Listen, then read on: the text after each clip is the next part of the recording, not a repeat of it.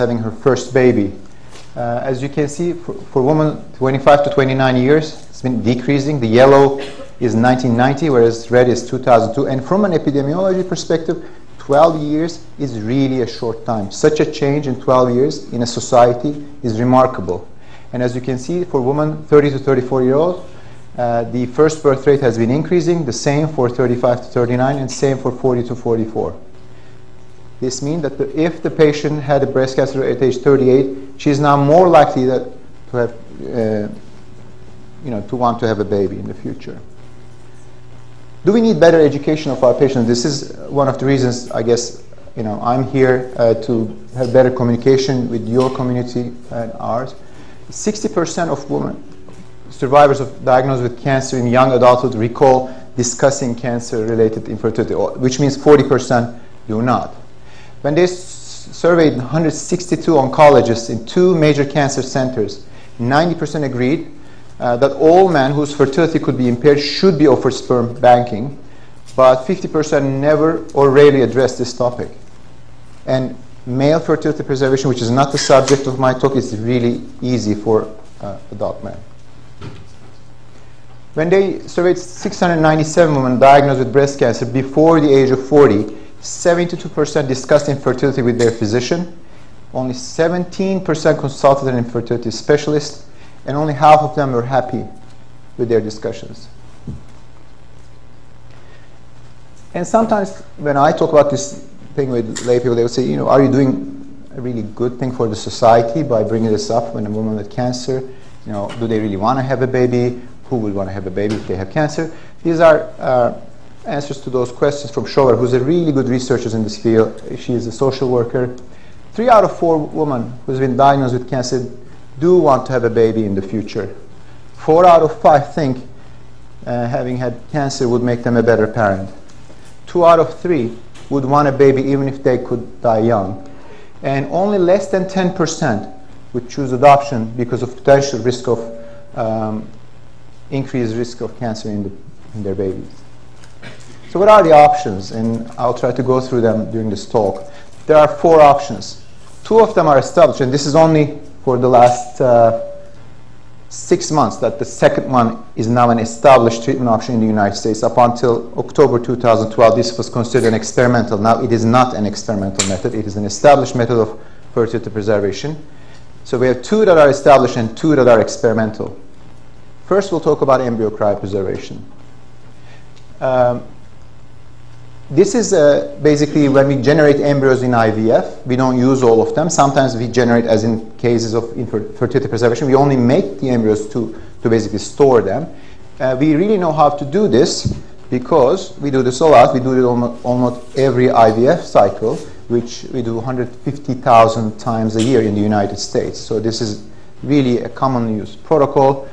There are almost 20,000 cycles of embryo cryopreservation transfer in the United States.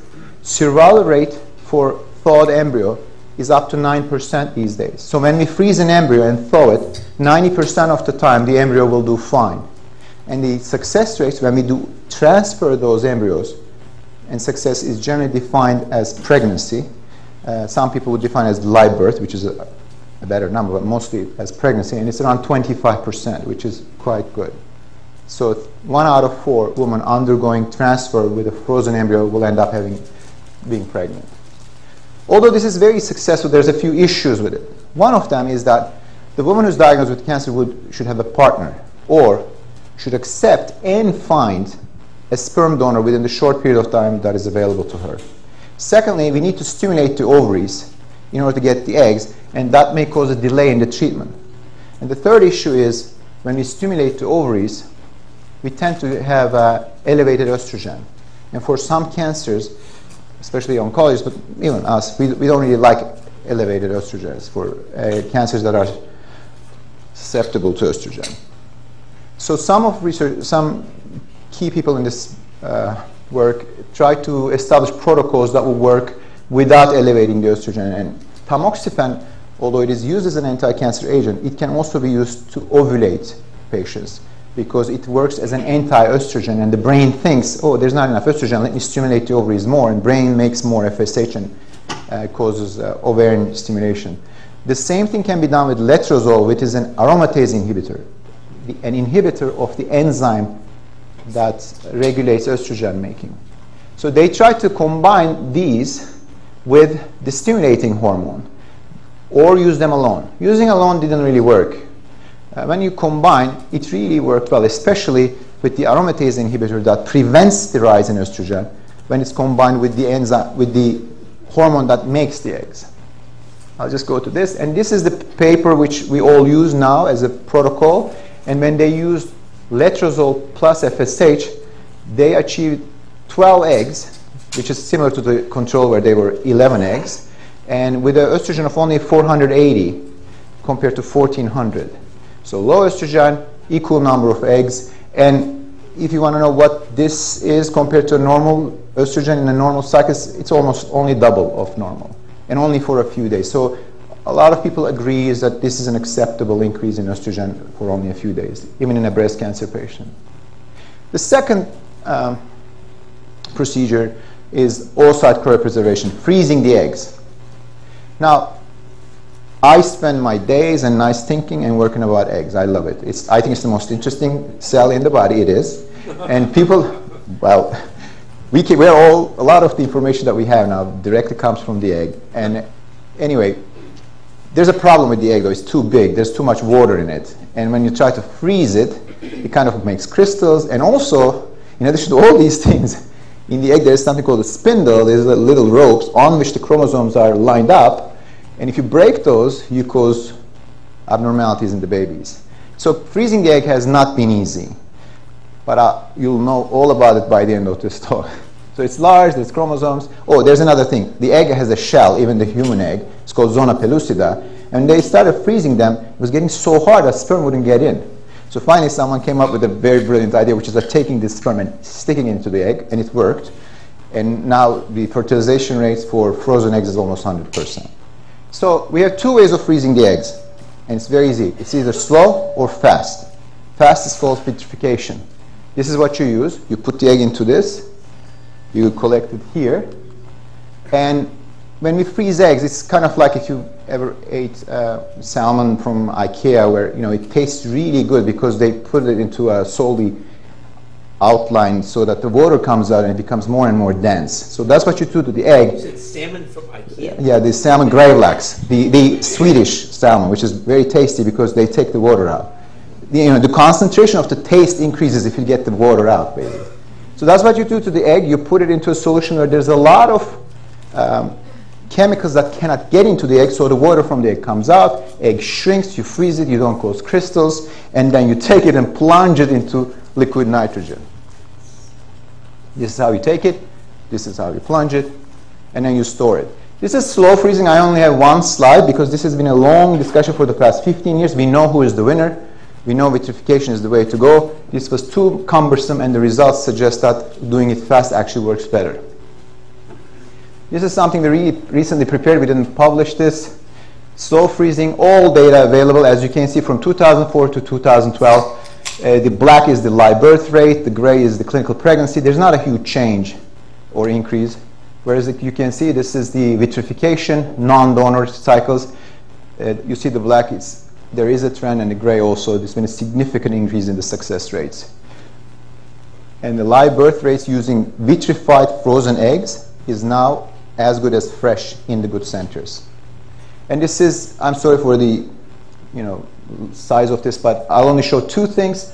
There's only one randomized trial comparing these two, and it shows that vitrification is better than slow freezing here, uh, from 38% to 21%. And Cobo from Spain is a good friend, and she did like 50,000 cycles. She showed that when you use donor eggs, which is healthy women freezing their eggs, doing it fresh versus vitrifying the egg does not matter. They're equally successful. So what I'm trying to say is we know how to do this, and this is one of the options that will be offered to your patients if you refer to them. And using the newly developed stimulation techniques, we can get it done in three weeks.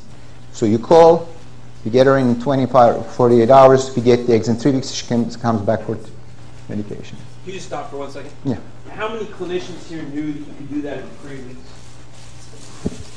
Okay, Dr. Stan, but that's actually an incredibly important point. Because I think that changes people's attitudes toward the importance of getting this done. Three weeks this done. Thank you. So, uh, what is good about oocyte cryopreservation? Oocyte cryopreservation does not require a partner.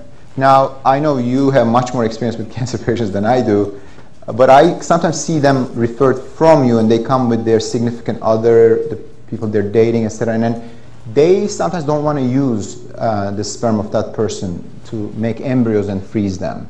Actually, sometimes they say, Can I talk to you in person later on? They come back and they say, You know what, I don't want to make embryos. I want to just freeze my eggs. So, ownership in a patient with cancer is very, very important because you know who that egg belongs to. Whereas when there's an embryo, it gets complicated.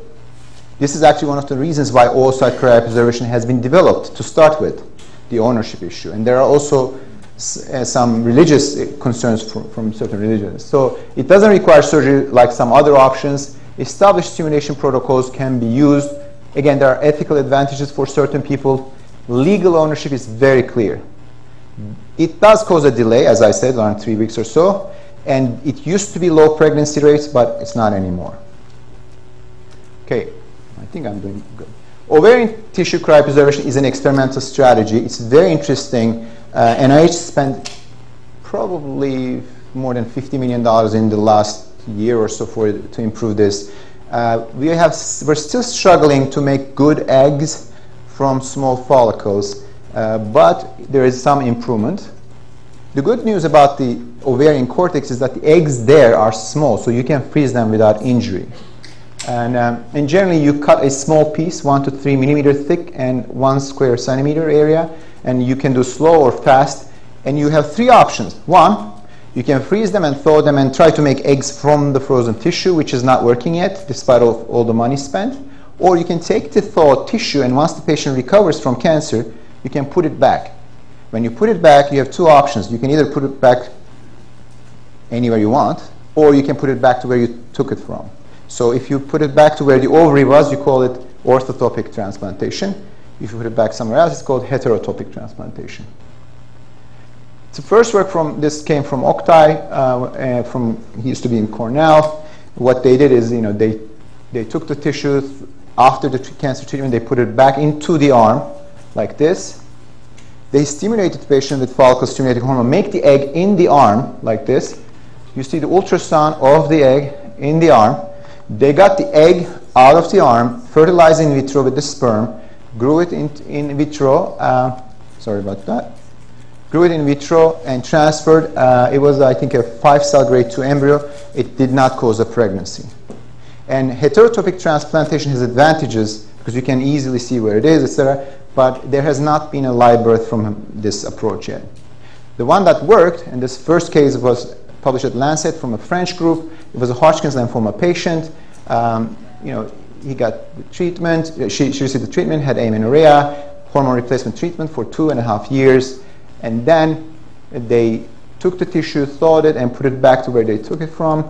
This is uh, immunostaining for an oocyte-specific gene, and they show that uh, the histology confirmed the presence of ovarian tissue, and the patient conceived spontaneously and had, a baby.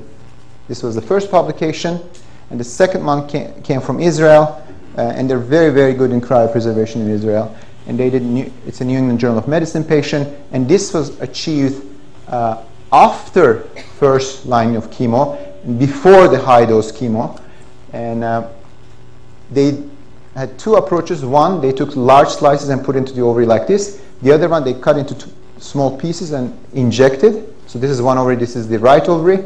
Only this one worked, only the large pieces worked. And they performed IVF and they resulted in a live birth. Now, this procedure is being done. More than 100 babies were born around the world. It's not the easiest thing to do, but it can be done. If we compare oocyte Jim freezing from West Haven. has left the conference. over. Is it me?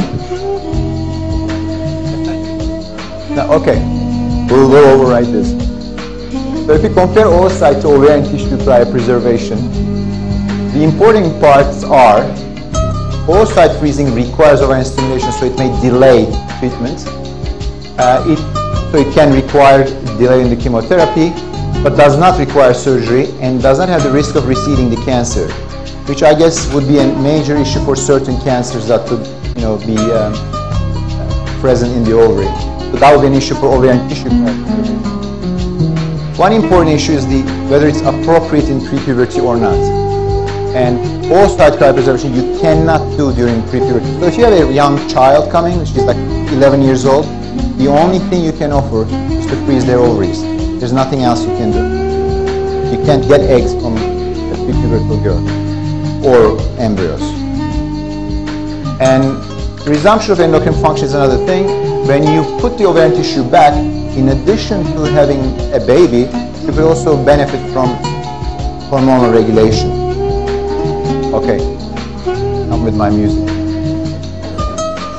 The GnRH code treatment is, I'm doing really good with the time though. This is the final thing. This is the only uh, treatment that doesn't require freezing Has joined the conference. Yeah, that's good. So we talk, we were going to talk about four things, right? The first three were freezing reproductive tissues, embryo, egg, or ovary. The fourth thing is not about freezing a reproductive tissue. It's about giving a medication. And as I was telling Dr. Lillenbaum an hour ago, I uh, work in a very simple field. It's only one axis, goes from the hypothalamus to the pituitary to the ovary to the uterus. I like it simple. That's why I went to OBGYN. Uh, and one of the regulatory hormones here is called gonadotropin releasing hormone. It goes from the hypothalamus to the pituitary. And what it does, when it goes in a wave-like fashion, it stimulates the pituitary to make the hormone uh, that causes egg growth. But if you took the same hormone from the hypothalamus and you gave it in a high, steady dose, it suppresses everything and it puts you into menopause. So people thought, hmm, when in animal models or in humans, it looks like when we give chemotherapy to prepubertal animals or humans, it seems to hurt less. So what if we put women into a menopausal state, would it help? Now this is really not based on a lot of science because the main follicles that are primordial follicles do not have receptors for FSH. So there's really no scientific reason for this to hurt. But in my field, we don't need that much. We, we can just give the medications to people without any. So they did. This is a GnRH agonist. So this is gonadotropin releasing hormone. It's only 10 amino acids. You change the number 6 or number 10 and you, cause, you make these medications. And when you inject these medications to the patient, it suppresses the whole axis. You go into menopause. Uh, and there's many, many, many studies showing that if you do give these patients, it helps women maintain their egg numbers. These are not very well designed studies. Most of them are not randomized controlled trials. Most of them use historic controls, but they do show a benefit. And why do we do that? It's because alkylating agents cause gonadotoxicity, and uh, main is cyclophosphamide that you seem to use for, especially for breast cancer patients. And interestingly, this has been shown in mouse as well as rhesus monkey. When you give uh, the GnRH agonist, the loss of fertility goes from 29%, I mean, from 65% to 29%. It does not protect, protect against radiotherapy. Importantly, the effect and impact of the chemotherapy, the negative effect of chemotherapy, is related to the age of the woman. And because chemo seems to kill a percentage of the eggs, so if you are young and have a lot of eggs and chemotherapy, you know, destroys a large part of your eggs, you may still have quite a bit left to go to help you for a few years. So again, there are several studies that if you give uh, GnRH agonist co-treatment to women who uses who's under who's getting gonadotoxic treatment for lupus, uh, it will help them um, prevent them getting into menopause. Um, so we know there's not enough really scientific evidence for this to have a central effect. And very recently, this got published a month ago, we checked every single pathway that could be activated by GnRH agonists in the ovary. And we found that none of them were activated. So we, we checked whether GnRH would have a direct effect in the ovary uh, for P38, the RAS pathway, or one or two, but it did not. So as it stands, we still, a lot of people would still use this medication for patients who are about to start um, chemotherapy. You can give monthly preparations of 375 uh, milligram IM uh, around 10 days before the pulse, or you can do give a depot preparation uh, for and continue for a total of six months. Advantages are this is simple. It is not cheap, but it's not really expensive compared to the other options. It has minimal side effects. It is not invasive, and there are promising preliminary results. Disadvantages, it doesn't work with radiotherapy. Ra- randomized controlled trials show inconsistent results, and molecular mechanisms of action are unclear. So as it is, if we go back to the beginning, we have four options. When a patient is referred to us, what we do is that we discuss with them what we can do for them. We, we explain to them each option, and then they choose. Many may choose not to do anything. Uh, some would choose, uh, many would choose oocyte freezing. I think oocyte freezing is becoming uh, the method of choice, surpassing embryo freezing these days. And many would also want to get the generous injection, understanding that there is not really scientific evidence for it to work. And some, only a few, would consider ovarian tissue freezing, especially prepubertal people. Uh, for a lot of the things that I said, we, we recently published a pretty detailed book on this. It's available for free. You can go onto the Yale website. I mean, Springer books are available for anyone who wants to read them, and each of these subjects are available. Now, I think I have time though. Do I? Two minutes? You do. Okay, cool. So I just want to show you how it works in the clinical setting. I didn't know I was going to do this. So this is one patient we treated who was uh, referred from uh, Yale Oncology. She was 17 years old, never been pregnant. She went to her uh, doctor with a right groin mass. In April on April 3rd, uh, they removed the mass and diagnosed with Ewing sarcoma. April 27th, she underwent another surgery. They confirmed there was no remnant. She underwent a CT of chest, pelvis, abdomen, bone scans, and there was no sign of metastasis. They planned 14 cycles of chemotherapy, alternating the following medications vincristine, doxa, cyclophosphamide, uh, and ifosfamide and etoposide every three weeks. Uh, they called us May 5th, and those days we were not as good with the stimulation protocols. Uh, it's been a few years since then. And luckily, her last menstrual period was April 16, which made her day 20 of her cycle the best day we like for stimulation.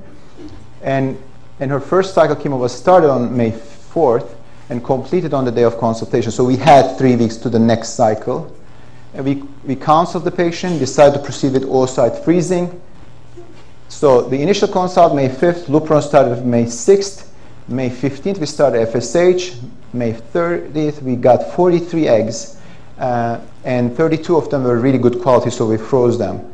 She was able to attend her boyfriend's prom and make it on time to her second round of chemo. Uh, what I was trying, what, what I was telling Dr. Lillenbaum is that we do consider these patients as a medical emergency, although they're not. We see them within 48 hours uh, in our practice, uh, and um, and we start treating them right away. And another thing that I was reminded to remind you is that for women of reproductive age, it is uh, a medical legal liability not to mention that fertility preservation is available. And we see more and more cases these days. Thank you very much. But, but I thought your last slide would be a picture of her baby. Not yet. Not yet. Okay, all right. We have time for one or two questions? So, Dr. Sanft, as a breast cancer doctor, okay, we see a lot of young women with breast cancer, and it's an area where estrogen stimulation would be a concern. How do you handle that from a clinical perspective? How do you integrate the two, and what kinds of factors do you think patients, how do they weigh the different issues? Uh, so uh, while we appreciate the risk of um, extra estrogen in the system, for young patients, especially those with stage one through three, many of them will go on to live a long life. And so uh, I think what we feel like in our breast center is that we owe them the uh, discussion with the fertility specialist, and then they talk about the risks and the benefits for fertility preservation. My own personal feeling is that it's uh, worth to them their quality of life and potentially having kids later um, versus the small risk of a little bit of extra estrogen for a week or two while they're undergoing that. maybe Art has another opinion, but that's how I feel. Art, another opinion? No, that's how you feel. Okay. Rogero? So what's the actual success rate for these procedures? So what do you quote your patients when they come to you? Uh, and I don't know if it varies, you know, that much between the different procedures. Does it vary with age? Does it vary with the type of chemo versus radiation? I mean, what what what is the essence of your conversation with these patients? So uh, the mathematical explanation of success rate is very complicated on infertility. I think the doctors make it that way. It's, it's better in a sense. For embryo transfer, frozen thawed embryo transfer, the numbers are thought of as pregnancy per transfer. And the number we quote is depending on age, but for a woman who is 37 around, it would be 25% per transfer. When you do egg freezing, the number you quote is generally not pregnancy per transfer, it's generally baby per frozen egg. And that number, it will seem low, but it's not. It's 6 to 8%. Because even when you do fresh IVF on a woman who has no issues, but her husband maybe, maybe her husband has some, you know, low sperm count, this, it's the same number. When we do IVF, we get 25 eggs. From 25 eggs, we get 18 embryos. Then the embryos, some of them die as they grow. Finally, transfer three and freeze a few. So at the end of the day, we generally get around eight babies for 100 eggs retrieved in the United States. And the, for the egg freezing, I explained to them that it's pretty similar from 6 to 8%. For ovarian tissue cryopreservation, we only tell them that there's only a few hundred babies around the world, so we can't really give a number. And for GnRH agonists, uh, the studies are not really good enough to allow us to quote a number. Uh, we would just tell them that their likelihood of uh, conserving their fertility is higher as their age goes down, and there's a potential that the medication can help, but we're not sure. So, Dr. Seli, one other question. Seeing Matt sitting here and seeing Roy Herbst sitting here as well, one of the things I'm concerned about it's it's a little it's very straightforward when the woman has or the girl has a Ewing's or a young woman has breast. How does it impact you if the person has pancreas cancer, advanced pancreas cancer, or advanced melanoma, or advanced solid tumors, where where the ultimate survival of the patient is not as clear as we have strong hope that this woman's going to be cured. Tara's patient uh, who have who have uh, breast cancer, we have strong hope they'll be cured. What about the woman with pancreas cancer, who's 34, a young woman who's got a horrible melanoma? How do you handle that? So that's a very good question, and I, I hope this goes well with you. But I have a very strong position on this as I have break. I also run the third-party reproduction program. I work with same-sex couples. I work with people who have heart disease, etc. Our position is that we don't have really a strong opinion. We we just try to basically provide the available opportunities to the patient and explain to them all the negative things that can happen. But we asked them to also meet with our psychologist who is uh, extremely experienced with this, Dorothy Greenfeld. She's a social worker. Uh, she, you know, she's quite well known in the field of complicated reproduction. And she goes uh, very, um, in a non-assuming way, she goes through all the options and she makes them ask the questions and make sure they have the responses.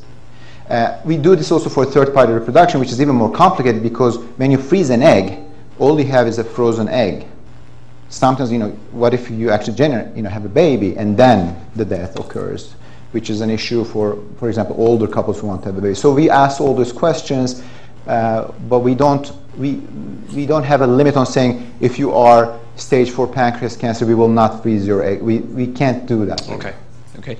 Art? You know, years ago, we used to tell women who had breast cancer never to get pregnant again. But that has changed tremendously, and uh, there's very little data that there's uh, increased risk for them. And the only thing that I used to do in the old days is if, if, if they wanted to get pregnant is suggest if they had a high risk cancer, maybe wait a year or two just to make sure they're not going to um, progress in that period of time. Yeah, right. We were. I was taught the same thing. Yeah. As a, Progression can be so late in breast cancer that I'm not sure that made a whole lot no of sense. sense. Great. Well, thank you very much. That was a terrific presentation. And while we switch.